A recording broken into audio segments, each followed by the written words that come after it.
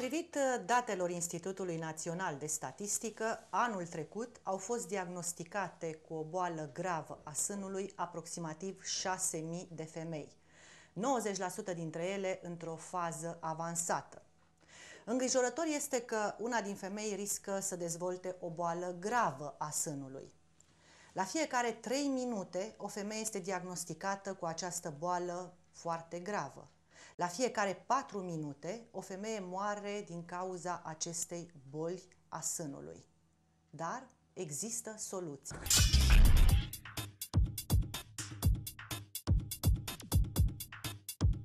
Alături de mine, doamna doctor Alina Popescu, medic specialist în medicină de familie, competență ecografie generală și consultant în nutriție. Bună ziua, doamna doctor, bine ați venit în emisiunea bine noastră. Bine v-am regăsit, mă bucur că ne întâlnim din nou să discutăm că avem multe de vorbit și de a ajutat doamnele, domnișoarele. Din păcat, uh, cancerul uh, la sân, cancerul de coluterin, uh, suntem, aș putea spune, chiar pe primele locuri în Europa. Este alarmant, este practic momentul să tragem un semnal de alarmă ca noi, femeile, să avem grijă de noi, să ne facem câte, să ne facem analize, dacă nu anual, nu, dacă nu la șase luni, măcar anual, da? să ne controlăm, pentru că, într-adevăr, după cum bine știți, sunt foarte multe multe cazuri, de fapt cam 99%, când nu avem niciun simptom și ajungem la medic foarte târziu. Este foarte simplu, da? ne putem face uh, această investigație cu acest termograf, mai mult decât atât, pentru că putem depista dacă avem o boală la nivelul sânului cu ajutorul acestui termograf, dar iată că el poate depista, da? cu patru ani înainte, dacă cumva ne așteaptă o afecțiune a sânului, da. lucru extrem de important pentru că în felul acesta ne putem lua măsurile necesare. Ce vă spuneam uh, mai devreme, deci iată că fiecare organism și fiecare zonă a organismului emite uh, o energie, evident și o temperatură. Deci acest termograf se bazează, acest aparat deosebit de drăgălaș, cum îi spun eu, se bazează pe acest principiu. Măsoară diferența de temperatură între țesutul sănătos și cel bolnav. Uh, țesutul bolnav, evident, va avea o temperatură mai crescută, iar această diferență de temperatură va spune cât de grav este sau ce, uh, cât de evoluat este procesul în acea zonă uh, vorbim de sân aici. Cel mai bine arată acest aparat, cel mai bine poate să investigheze sânul pentru că era suprafața corpului. care e diferența între acest termograf și mamograf? Da, imediat vă spun. Termograful, cum uh, spuneați și noastră mai devreme, poate să, um, măsurând această diferență de temperatură, poate fi, poate să spună cu 3-4 ani înainte ce, că se va întâmpla ceva acolo. Uh, avantajul mare este că se poate face la orice vârstă, deci el nu are radiații, nu iradiază. Uh, se poate face și la copii, la fetițe mici. Noi am avut paciente și de 10 ani ca vârstă și de 12 ani, pentru că în familie acolo mama și poate și bunica au avut probleme la sân uh, și uh, de ce este grozav? Că se poate repeta oricând să vedem, să verificăm uh, evoluția tratamentului și cât nu de bine a făcut. Nu ne afectează organismul? absolut deloc, se poate face oricât de des. Sigur că are sens să faci grav, des, da. pentru că trebuie să uh, faci un timp un tratament și să vezi ce ai obținut. Mamograful este o investigație um, oricum apărută cu foarte mulți ani înainte, este cu raze X, deci razele X, cred că știm fiecare că uh, au un impact asupra organismului.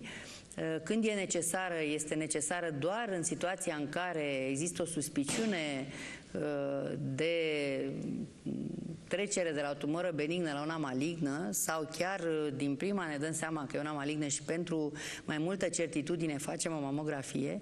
Atenție, doamnelor, domnișoarelor, nu faceți până în 40-45 de ani chiar uh, mamografie, indiferent cine, cine vă spune. Sigur că dacă uh, se suspicionează o tumoră canceroasă atunci, de-abia atunci, dar nu faceți cu așa ușurință uh, pe alte motive, că e gratis, că uh, haideți să vedem uh, dacă nu mi-a apărut și mie ceva, pentru că o iradiere cu raze X uh, da, vă dați seama că agresează organismul. Termografie. Despre se face termografia, după aparat... care termograful, termografia poate fi completată cu ecografia de sân. Bun, păi, atunci haideți să ne lămurim la cabinetul pe care dumneavoastră îl conduce mergeți, ce investigații putem face? Pentru Asta vreau să vă spun, da. Exact, vă rog. Că în continuare, adică acest aparat grozav este completat ca um, investigație de ecograful cu 3D, 4D, care iar este un aparat performant, foarte performant, pentru că el spune acolo în zona aceea care a investigat-o termograful și a spus că este o zonă caldă, cum spunem noi în termenii noștri, uh, ce este? E un chist, e o aglomerare de chisturi, e un placard, este um, o formațiune tumorală. Știți că noi doctorii spunem tumor la orice apare, fie că nu vă faceți, malignă, da, fie că e benignă, nu vă faceți griji. Este, da? Ehm, dacă auziți da, bine, acest cuvânt. să fie benignă. Sigur.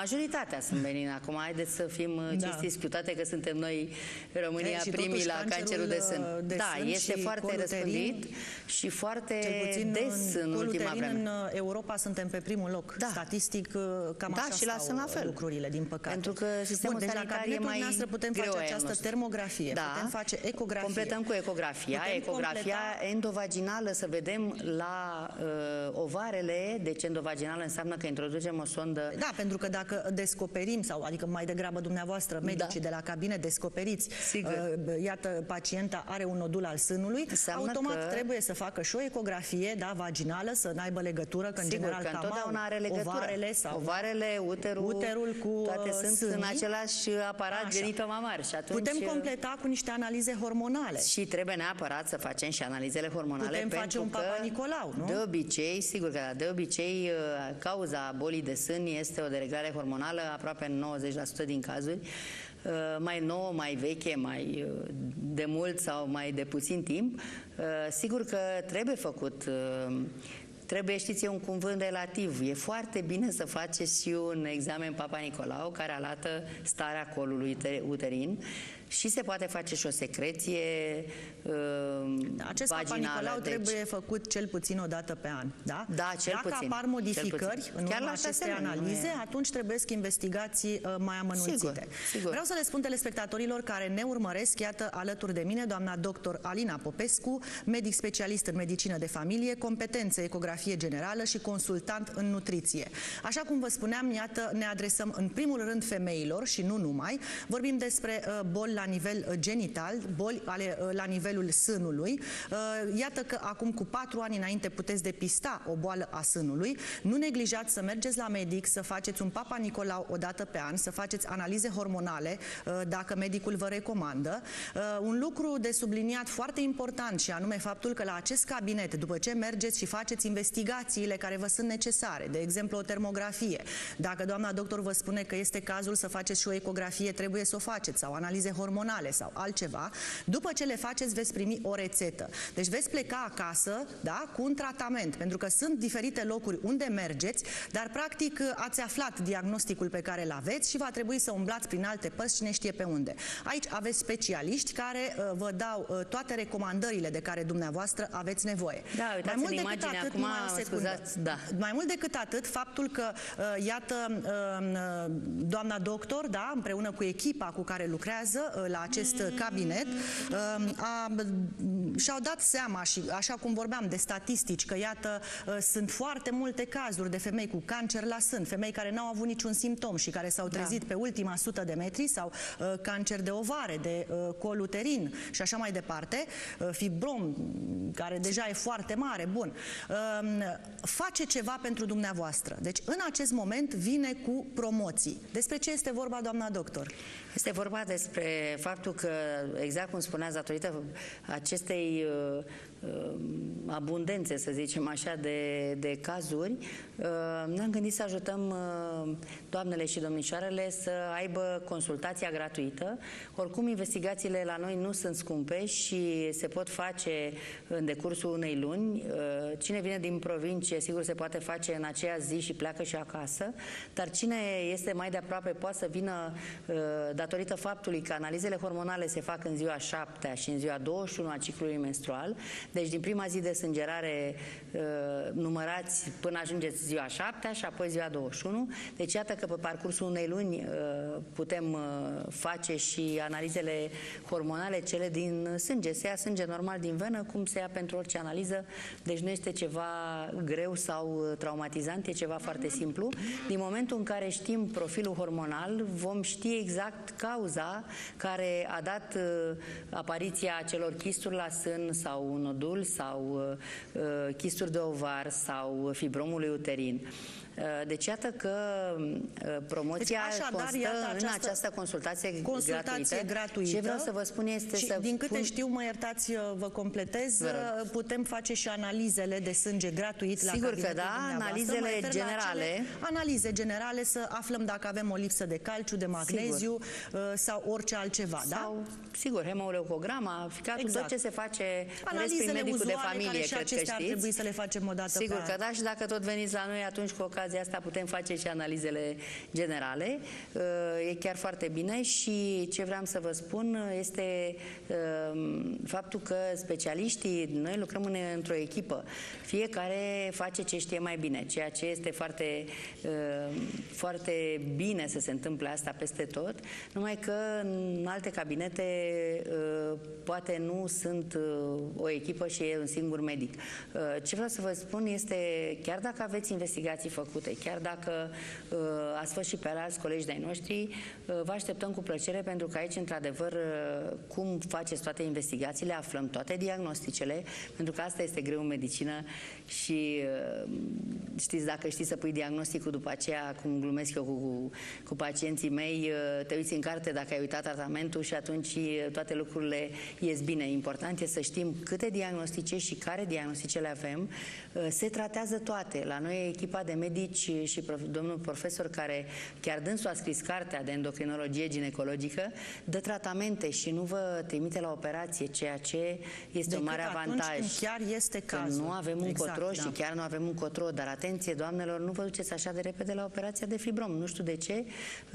Uh, e așa de simplu sau poate pentru că uh, din totdeauna doamnele s-au dus să opereze. Evoluat, da.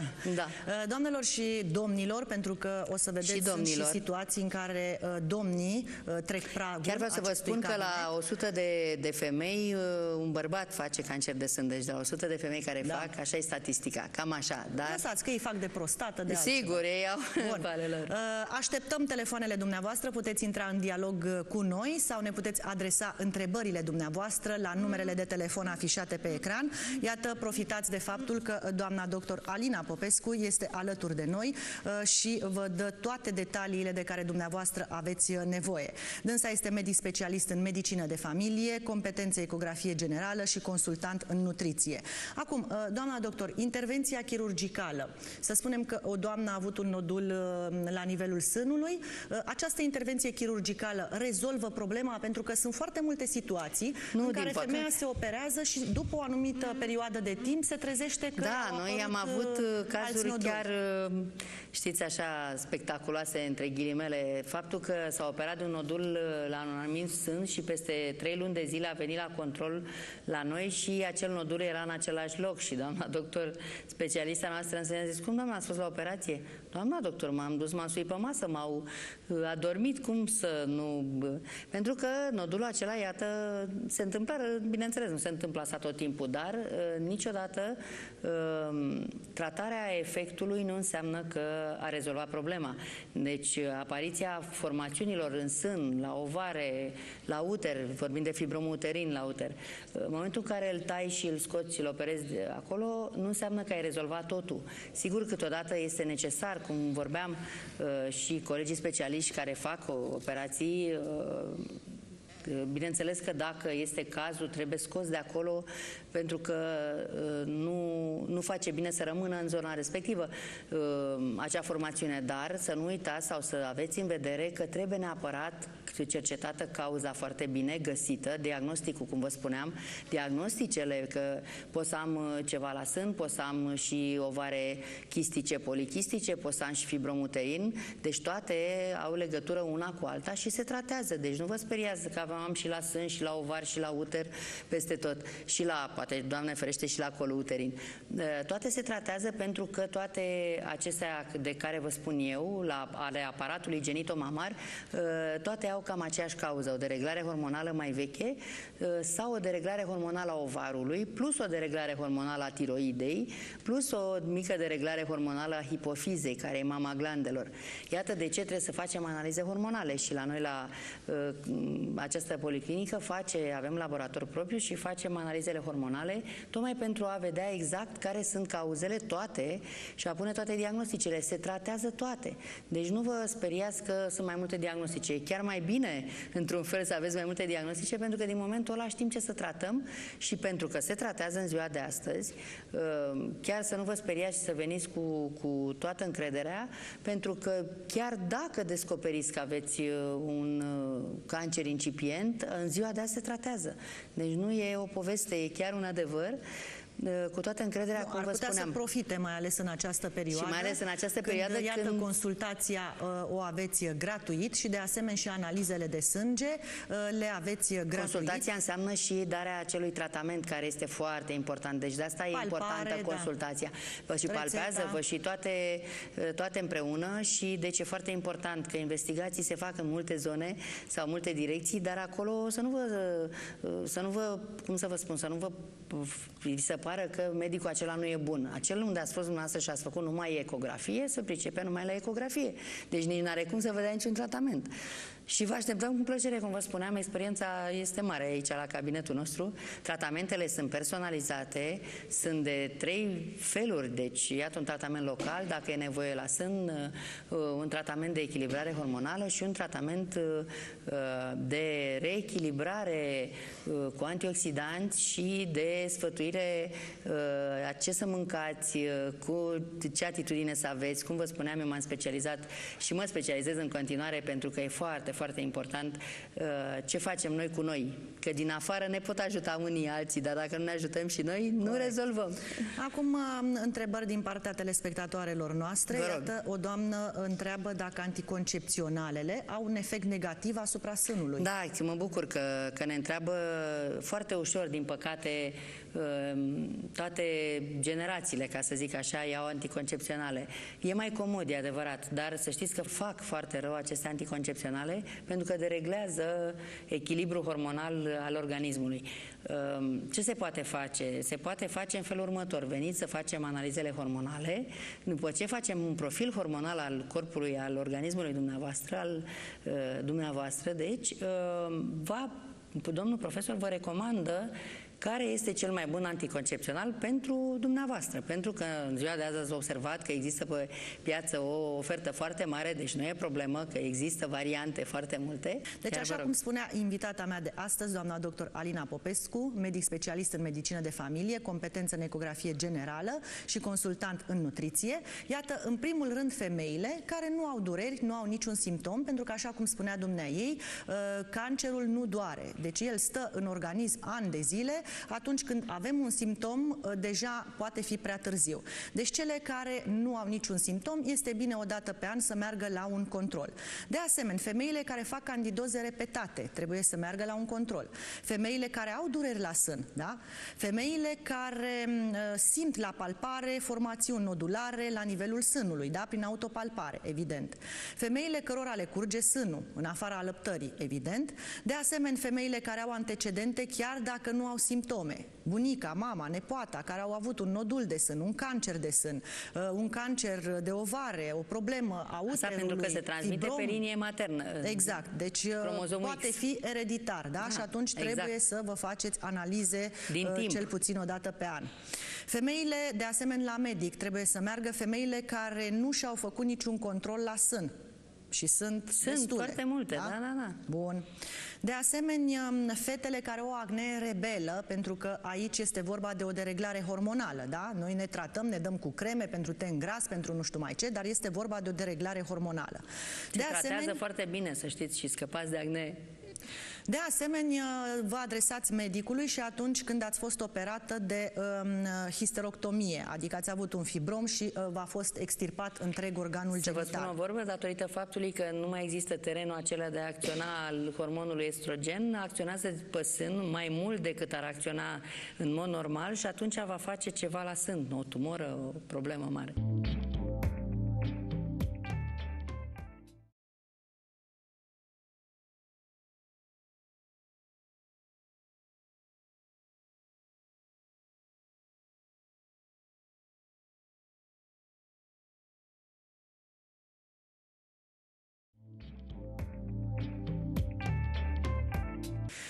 La investigații, de asemenea, trebuie de urgență să ajungă și femeile care au o dereglare de menstruație, da? femeile operate de nodul de sân, pentru că operația nu rezolvă totul, așa cum am discutat în cadrul acestei emisiuni și vă puteți trezi dacă recidivează da? cu alți noduli la sân. De asemenea, la medic trebuie să meargă femeile cărora li se oprește menstruația înainte de 50 de ani, pentru că Înseamnă nu este deloc normal. hormonală, da. da. Femeile care au alte dereglări dereglări, da, nodul tiroidieni, dereglări hormonale. Iată că la acest cabinet beneficiați de analize hormonale. De asemenea, la medic trebuie să meargă femeile care iau anticoncepționale și au un nodul sau n-au la sân și nu și-au făcut niciun control hormonal. Este bine să faceți. De asemenea, la investigații trebuie să se prezinte și femeile care au suferit o traumă psihică, pentru că nu se știe dacă în urma acestei traume, așa cum vă spunea uh, doamna doctor Popescu... Se modifică structura uh, ovarului, așa exact, de rău exact. influențează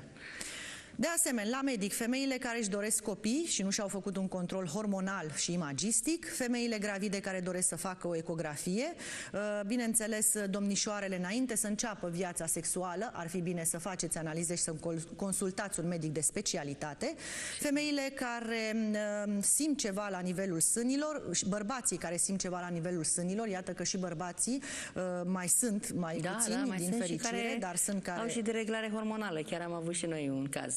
Și uh, încă o dată, repet, femeile care uh, nu le dor nimic, care nu au niciun simptom, este bine cel puțin o dată pe an să faceți aceste analize. Nu uitați, la acest uh, cabinet beneficiați de o consultație gratuită, adică consultația este gratuit, analizele de sânge sunt tot gratuit și, bineînțeles, o dată pe an trebuie să facem aceste investigații, pentru că, iată, beneficiați de acest termograf, care poate depista chiar cu patru ani înainte o problemă, o a sânului, da? și atunci vă luați toate măsurile necesare. Uh, de asemenea, iată, tot aici la acest cabinet puteți face și o ecografie uh, și analize hormonale uh, și toate investigațiile, o analiză, un Papa Nicolau sau o ecografie abdominală, da? sau a, abdominală, da. exact. Da. Deci toate investigațiile de care aveți nevoie pentru a fi sigure că sunteți sănătoase sau în cazul în care ceva s-a instalat în organismul dumneavoastră, trebuie să o luați din timp și să vă tratați până nu este prea târziu. Uh, în concluzie, doamna doctor Popescu. În concluzie, doamnelor, domnișoarelor, uh, mămici, bunici, uh, indiferent dacă sunt mai, cu mai puține amintiri sau cu mai multe amintiri, vă rugăm să, chiar vă rugăm să aveți grijă de dumneavoastră și să vă uitați mai, mai mult la dumneavoastră decât la ceilalți, pentru că demonstrăm că iubim pe cei dragi ai noștri dacă avem grijă de noi. Dacă noi suntem sănătoase, atunci, asigur, vom putea avea grijă de cei apropiați. Și aici, Corect. la acest cabinet, puteți face toate investigațiile ușor, fără iradiere, fără durere, fără probleme și plecați acasă cu un tratament și colaborăm și investigăm în continuare dacă acel tratament vă este bun și ținem legătura și o să vă faceți bine.